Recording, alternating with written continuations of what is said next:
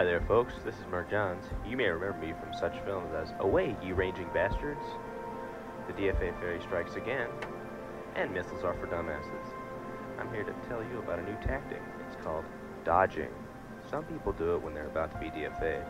Other people just whine. Well, now that you've been informed, try it someday. Dodging.